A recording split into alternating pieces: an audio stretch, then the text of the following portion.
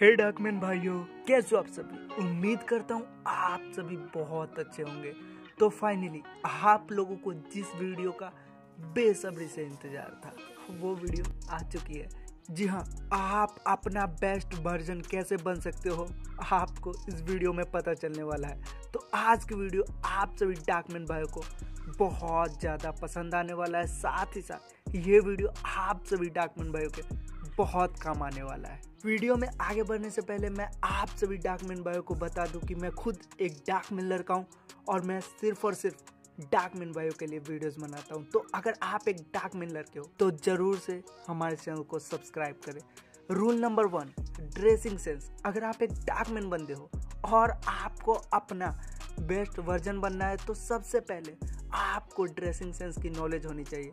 ये चीज़ आपको जितना ज़्यादा अच्छा नॉलेज होगा आप उतना ज़्यादा स्टाइलिश दिखोगे और खुद को बेस्ट वर्जन बनाने में बहुत ज़्यादा हेल्प मिलेगा। तो आपको ड्रेसिंग सेंस की प्रॉपर नॉलेज होनी चाहिए। अगर आपको ड्रेसिंग सेंस की नॉलेज नहीं है तो चाहे मर्ज़ी आप कितने भी अच्छे कपड़े पहन लो, आप अट्रैक्टिव नहीं दिखने वाले हो। अब इसका मतलब ये भी नहीं कि आपको बहुत महँगे कपड़े पहनने या फिर बहुत सस्ते। आप कहीं से भी कोई भी कपड़े लो, महँगे लो, सस्ते लो, कोई फ़र्क नहीं पड़ता है। आपको कलर कॉम्बिनेशन की नॉलेज होनी चाहिए। आपके ऊपर हम डार्क में लड़कों के ऊपर कौन कौन से कलर अच्छे लगते हैं ये चीज़ आपको पता होना चाहिए।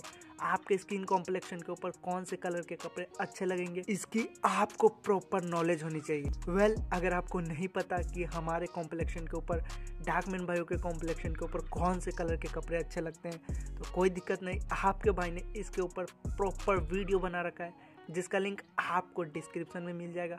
आप वहाँ से जाके उस वीडियो को देखें और अपने ड्रेसिंग सेंस की नॉलेज को इंक्रीज करें और खुद को अट्रैक्टिव बनाने में पहला कदम आगे बढ़ाएँ।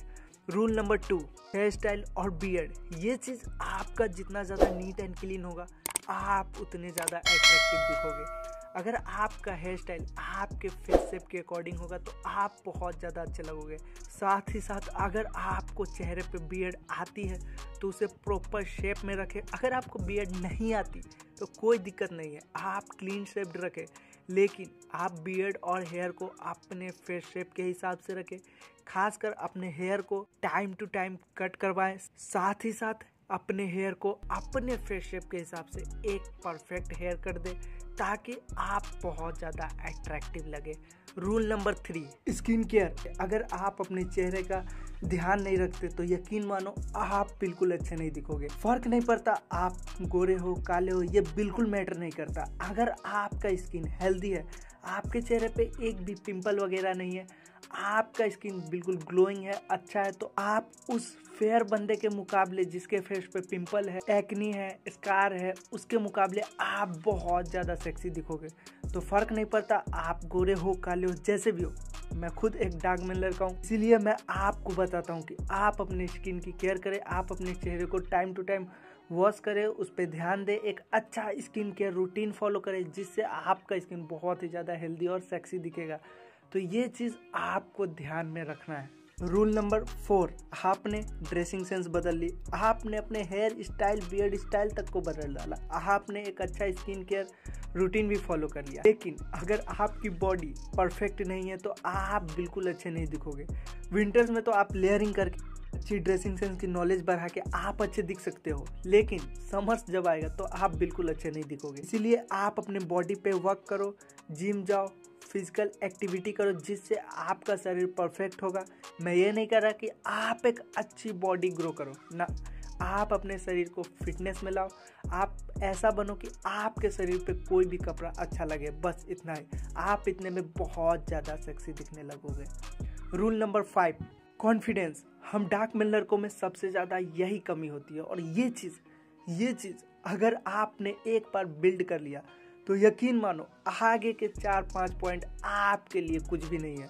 अगर आप अपने अंदर कॉन्फिडेंस लेवल हाई कर लेते हो तो यकीन मानो डार्कमैन भाई आप अच्छे से अच्छे आदमी को पीछे छोड़ सकते हो। मैं खुद एक डार्क मिलर का हूँ और मैं आपके प्रॉब्लम को अच्छे से समझ सकता हूँ। इसीलिए मैं आप सभी डार्क मैन भाइयों को बताना चाहूँगा, हम डार्क मैन को की यही प्रॉब्लम है। किसी से मिलते जुलते वक्त हमारा कॉन्फिडेंस बिल्कुल लो होता है।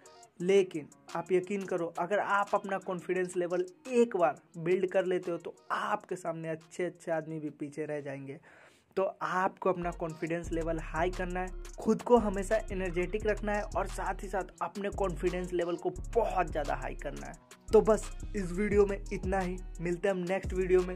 और हाँ अगर आप एक डार्क मिलर के हो, और अभी तक अभी तक इस चैनल को सब्सक्राइब नहीं किया तो क्या कर रहे हो भाइयों? अपने इस डाक आर्मी फैमिली को बहुत आगे तक ले जाना है। तो अभी कभी इस चैनल को सब्सक्राइब करो और हाँ इस वीडियो को लाइक ज़रूर करो। तब तक के लिए।